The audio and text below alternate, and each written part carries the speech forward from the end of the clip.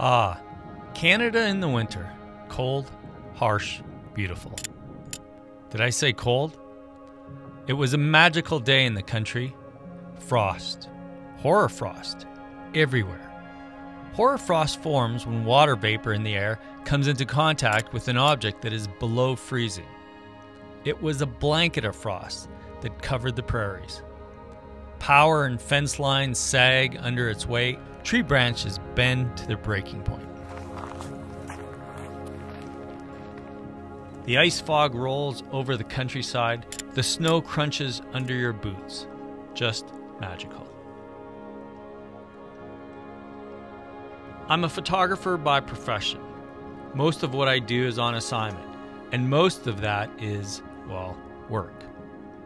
But a quick trip out to the country was only supposed to be for an hour, ended up being for the whole day. But when you come upon such incredible scenes by accident and can spend time photographing nature's beauty, that's what it's all about. I am lucky. It's a struggle to work in the winter. You walk on crunchy frozen snow, layered up with protection from the wind and always the biting cold. Today I worked with my medium format Hasselblad. The files, in short, are amazing.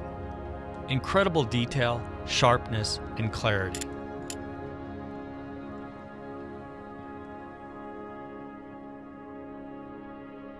These are my favorite days to be a photographer, when I can walk around with one lens and just explore the world. When I can spend time away and just look. When I can just follow the light.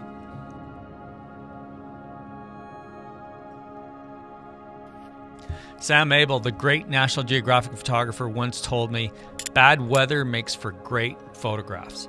I've always carried those words with me. My dad once told me things that are harder to do always have a bigger reward. Working in the winter always seems that way.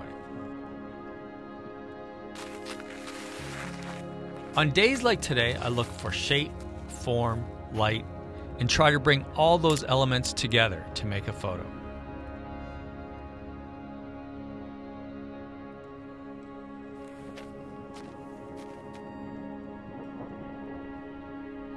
It's easy to get caught up in the day to day working world, but days when you can explore nature, the landscape, and capture its beauty, these are the great days in photography.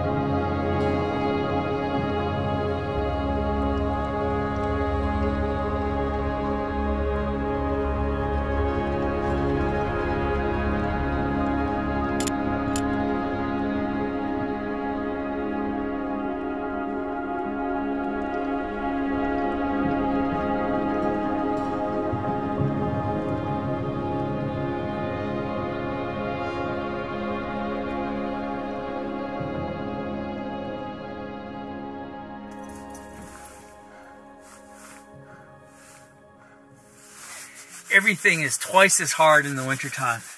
Your fingers are freezing. It is uh, minus 15 degrees outside. It's so cold. It gets hard to work. It gets hard to change lenses. It gets hard to see in the viewfinder because it fogs up.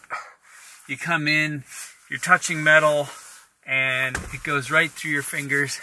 Everything is just so hard in the wintertime. But it's beautiful.